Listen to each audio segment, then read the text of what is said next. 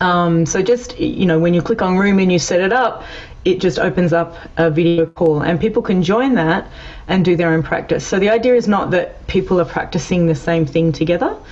Um, it's just that people are practicing in a virtual space together. And the way that one group member put it was it's kind of like being at music college and seeing people through the, the glass, you know.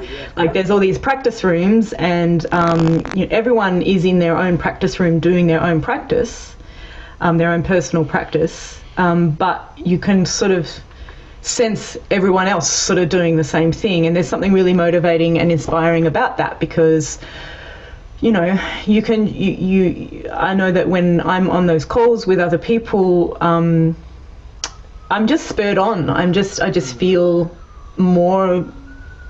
You know, it's like a, a catalyst for my own process. It's like, oh, they're practicing. I'm gonna, you know, and it might just make me keep going. But the other thing it does, like when I make that announcement to the group, 9 a.m. every weekday, I'm, I'm making a room. Please come join me.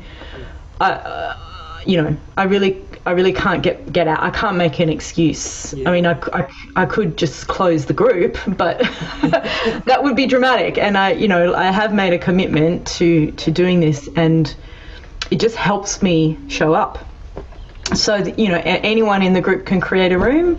You just say 7:30 tonight. I'm creating a room for an hour. Come and join me. You do that.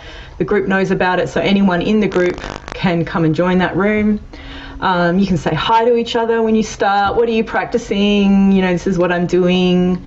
You can share a bit about, you know, if you've had a challenge or what you're trying to work through, whatever.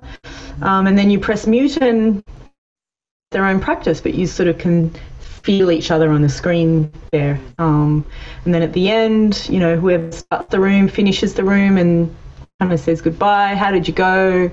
Yep. You know, even people could share something if they wanted to. Um, and yeah, it's just a, it's a way to make it social, accountable, motivating, and it's really for people who do struggle with making time and the space, and um, you know who procrastinate or you know find that they just need a little bit of external context to to help just make it more consistent, really. Yeah.